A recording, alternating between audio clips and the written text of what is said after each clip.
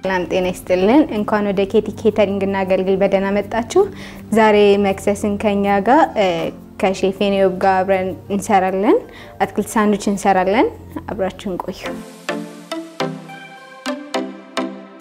አትክልት ሳንዱቻችንን ለማዘጋጀት የሚያስፈልጉን ግብአቶች ጥቅል ጎመን አለ፣ እዚህ ጋር ካሮት አለን፣ እዚህ ጋር toast የተደረገ ዳቦ፣ ሽንኩርት፣ ቃሪያና ነጭ ሽንኩርት፣ ካቻፕ ጨውና ቁንዶ በርበሬ እንጠቀማለን ማለት ነው። እንዲሁም ደግሞ በተጨማሪ ቺፕስ እንጠቀማለን። አትክልት ሳንዱቻችንን ለማዘጋጀት ጎመናችንን almost ከታትፈናል። ቆስጣችንን አሁን እየከተፍን ነው። ቤታችን ባለን በማንኛውም ግብአት መጠቀም እንችላለን። መክሰስ ያው ለራት ማዳረሻ እንደመሆኑ መጠን ጠገብ ባንል ይመረጣል እና ደግሞ ቀለል ያሉ ምግቦች ቢሆኑ more ይመረጣል digest ም ለመሆን እንዲረዳው አትክልት ሳንዱቻችንን እንግዲህ ሰርተን ለመጨረስ maximum ከ10 እስከ 15 ደቂቃ ሊወስድ ይችላል። እንዲሁም ደግሞ ሁሉም ግብአት ሁሉም ነገር ባለው ሊሆን ይችላል። ቤት ባለን ነገር መጠቀም እንችላለን። የጾም የፍስክ መስራት ስለምንችል almost አሁን እኛ የጾም ነው የምንሰራው።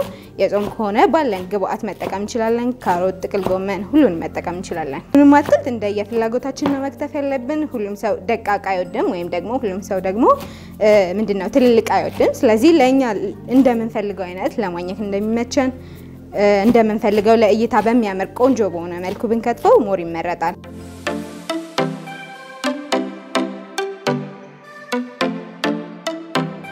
ሁሉንም አትክልት አዘጋጅተን ጨርሰናል። ከታትፈን ጨርሰናል። ሁላችንም ከስራ ስንገባ ደክሞ ሊሆን ይችላል። ከትምህርት ቤትም ስንገባ ቀላል ምግብ ብለን የምናስበው ስለሆነ አሁን almost ወደ መስራት እንገባለን ማለት ነው። አሁን ደግሞ መጥበሻ ወደ ማጋል ስራችን እንሄዳለን።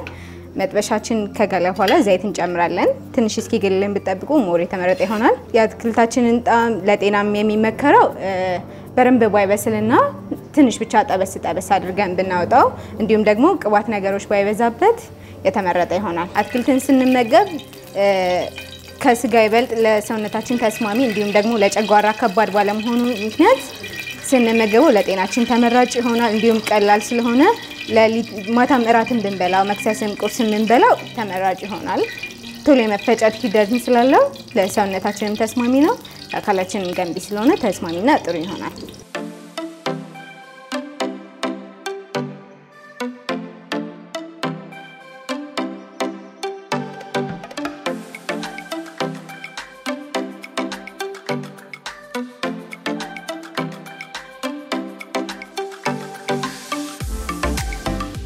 ተመልካቾቻችን ይሄኛው እኛ ቤታችን ያለን የግብአት አይነት ስለሆነ ነው። እናንተ ዝኩኒም፣ ደበርጃንም፣ አበባ ጎመንም ያላችሁን ነገር በቤታችሁ መስራትና መጠቀም ትችላላችሁ።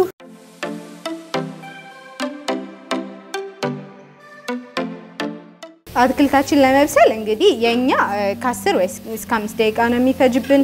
የእናንተ ደግሞ የተለያየ ሊሆን ይችላል። እንደምትጠቀሙት አትክልት ይለያያል።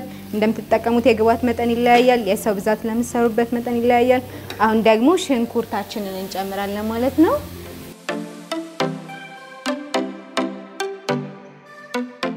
እንግዲህ ምግባችንን more ጣፋጭ ለማድረግ እኛ የምንጠቀመው ነጭ ሽንኩርት፣ ቁንዶ በርበሬ፣ rosemary መጠቀም ትችላላችሁ እናንተ የምትወዱትን በቤት የተዘጋጀ ቢሆን more ይመረጣል።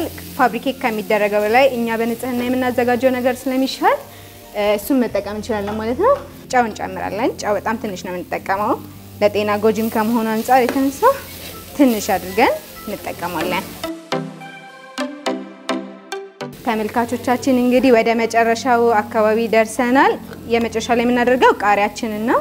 ቃሪያችንን አድርገን tasteful መሆኑን check ካደረግን በኋላ እናወጣዋለን ማለት ነው። ከዛ toast የተደረገ ዳቦ አለን እሱ ላይ በማድረግ እንሰራለን ማለት ነው። ውድ ተመልካቾቻችን እንግዲህ ይሄ እንደምታዩት ቺፕስ ነው። ቺፕሱ ከሳንዱቹ ጋር more ቢቀርብ ተመራጭ የሆነ ቺፕስ ስለሆነ እና አዲስና fresh ስለሆነ እዚሁ ሰርተን እናቀርባለን ማለት ነው። ቤት ውስጥ ለምትጠቀሙ ሰዎች ቺፕስ ቢኖረውም ባይኖረውም ችግር የለውም። አሁን ካቻፕ እንቀባውና አትክልቱን ወደ ማድረግ እንገባለን ማለት ነው። እንዲሁም ደግሞ ሁሉም ሰው ቤቱ በቀላሉ መንገድ ሰርቶ መጠቀም የሚችለው ምግብ ነው። ቀላል ለምግብም ለመፈጨትም ቀላል ስለሆነ ከባድ አይደለም። የሚጣፍጥ ጣፋጭ ምግብ ነው። ሁላችሁም ሰርታችሁት እንድትሞክሩት እንመክራለን። እንግዲህ እንደምታዩት toast እየተደረገውን ዳቦ ካቻፕ ቀብተናል። ካቻፕ ለማትወዱ ሰዎች ደግሞ በደረቁ መሆን ይችላል፣ ችግር የለውም። አሁን ደግሞ አትክልታችንን እናደርገዋለን ማለት ነው። አትክልቱን እንደምታዩት እንደዚህ አሪፍ በሆነ መልኩ ቅድም ጠብሰነዋል። taste አድርገን ደግሞ እንነግራቸዋለን። እንግዲህ ዳቦ ግዴታ slice ዳቦ መሆን የለበትም ተመልካቾቻችን። ቤታችሁ ባላችሁ በእናንተ በማንኛውም በገብስ ዳቦም በስንዴ ዳቦም በፈለጋችሁት በ normal በክቡ መጠቀም ትችላላችሁ፣ ችግር የለውም። አጠቃቀማችሁ እንደየፍላጎታችሁ ነው። ስኳር ያለባቸው ሰዎች በገብስ ዳቦ መጠቀም ይችላሉ። ሁሉንም እንደየግብአቱ መጠቀም ይቻላል። እንደምታዩት እንግዲህ አሪፍና ጣፋጭ ይመስላል። ቆንጆ በሆነ መልኩ ሰርተን ጨርሰናል። ለፈራረስብን አትክልቱ ውድቅድቅ እንዳይልብን ስቲኪኒ እንደዚህ እንሰካበትና እንቆራርጣለን ማለት ነው።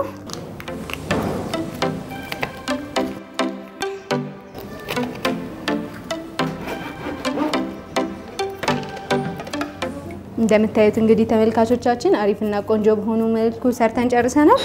ቺፕሳችን ይሄን በመሰለ አሪፍ በሆነ መልኩ ደርሶልናል። እንደምታዩት እንግዲህ አሪፍና ጣፋጭ ምግብ ይመስላል። እናንተም ቤታችሁ ባላችሁ በማንኛውም ግብአት መጠቀም ትችላላችሁ።